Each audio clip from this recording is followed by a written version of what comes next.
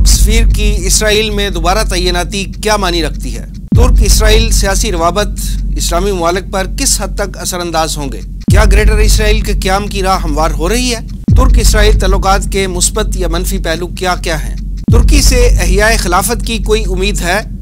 इन तमाम सवालों के जवाब जानेंगे हम मोहम्मद अनीस रहमान साहब से, डॉक्टर मोहम्मद आरिफ सदीकी साहब से और जनाब आसिफ हमीद साहब से प्रोग्राम जमाना गवाह के अगले एपिसोड में।